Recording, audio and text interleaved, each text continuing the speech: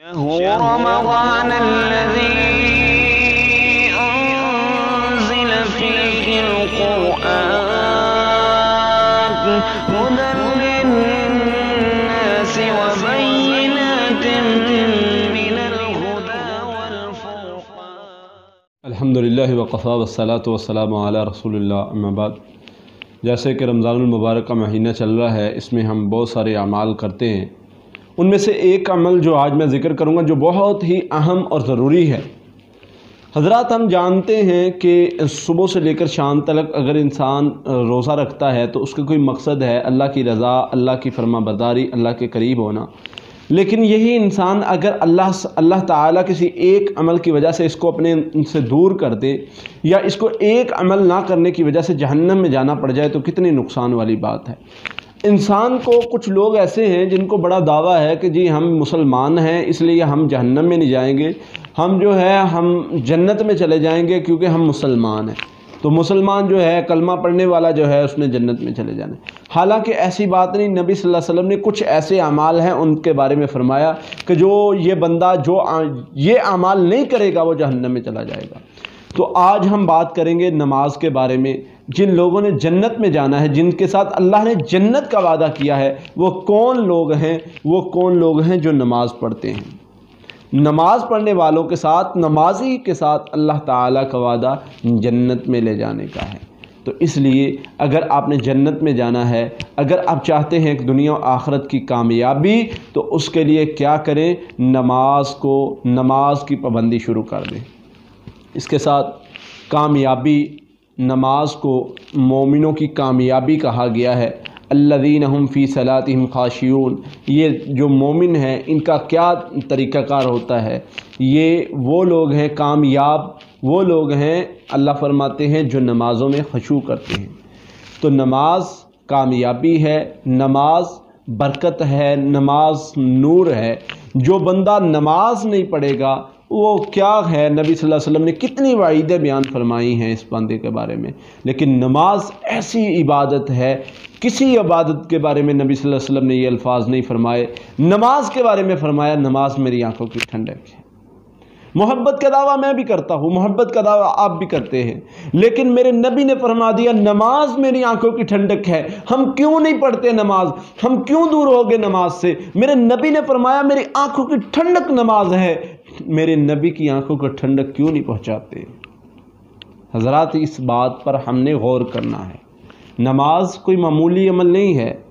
इसका बहुत ही ज़्यादा फ़ायदा है। अगर इंसान पढ़ना शुरू कर दे, अगर इंसान तवज्जो के साथ पढ़े, ये बेहयाई से रोकती है, बुरे कामों से रोकती है, गलत कामों से रोकती है। इन नमाज़ जो है, वो इंसान को इंसान को अल्लाह के करीब कर देती है। नमाज़ इंसान को अल्लाह का, अल्लाह के ऐसे करीब करती है कि इंसान को अल्लाह ताला जन्नत में जगह देते हैं।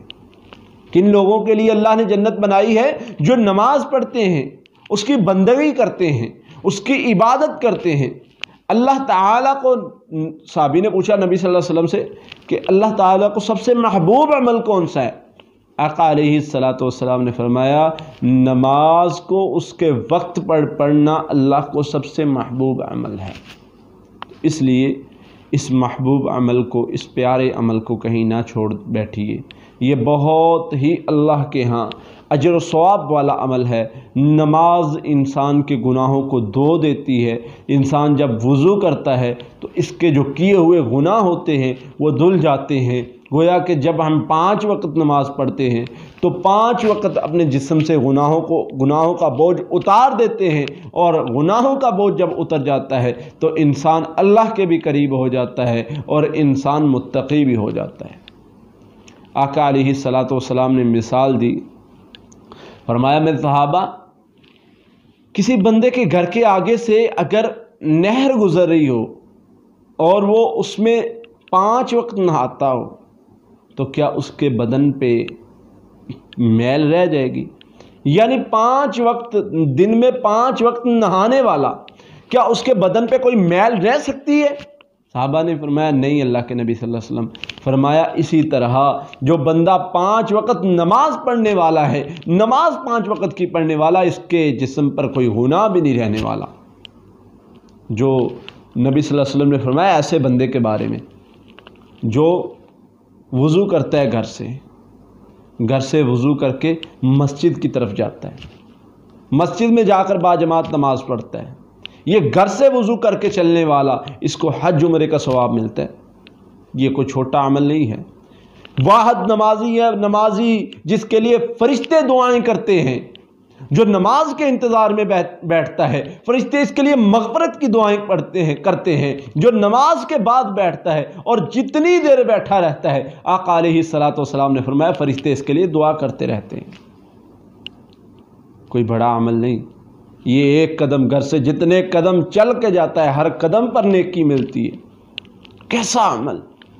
एक अमल और कितनी अहमियत, कितने दर्जात बुलंद, कितनी नेकियाँ ये कैसा अमल है? एक बार कुरान में आ जाता, हम पर फ़र्ज़ हो गया था। सात सौ बार अल्लाह ने यह बयान करके क्या फरमाया?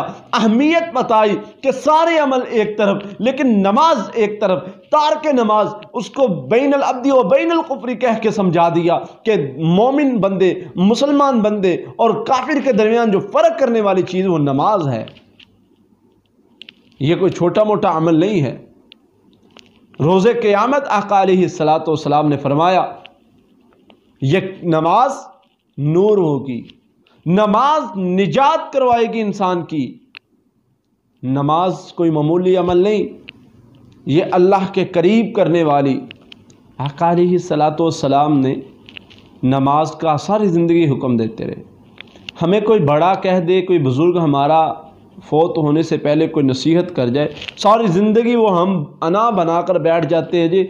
हमारे बुज़ुर्ग और वडेरे ने ये नसीहत की थी मरते दम फौत होते हुए, कि मेरी ये बात याद रखना, सारी ज़िंदगी ये अमल ना करना। हम सारी ज़िंदगी उस अमल के करीब नहीं जाते। अगर उसने किसी काम करने का कहा हो, हम सारी ज़िंदगी करते रहते हैं। हमारे वडेरे ने ये कहा था। इधर आका ही सलात ने नसीहत फरमाई, आखिरी वक्त है साहबा कराम जमा है। आका सलाम फरमा रहे हैं असलात असलात असलात लोगों, नमाज़ का ख्याल रखना, नमाज़ का ख्याल रखना, नमाज़ का ख्याल।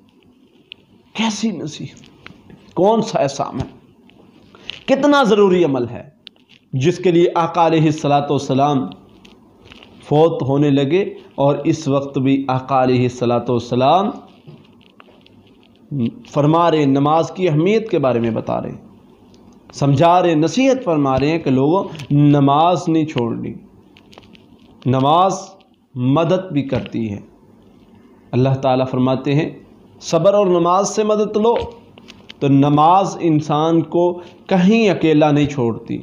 इस पर बहुत सारे तारीख़ी वाक़ात भी मिलते हैं, सहाबा कराम के वाक़ात भी मिलते हैं कि जब कभी उन्हें ज़रूरत पड़ती, परेशानी होती, तकलीफ़ होती तो वो क्या करते? नमाज़ पढ़ते नफल पढ़ते, अल्लाह ताला उनकी परेशानी की तकलीफ़ को दूर कर देते। वस्तीन बसब्री वसलात नमाज़ से मदद तलब करो। तो इसलिए नमाज़ जो है, वो बहुत ही अहम फरीज़ा है।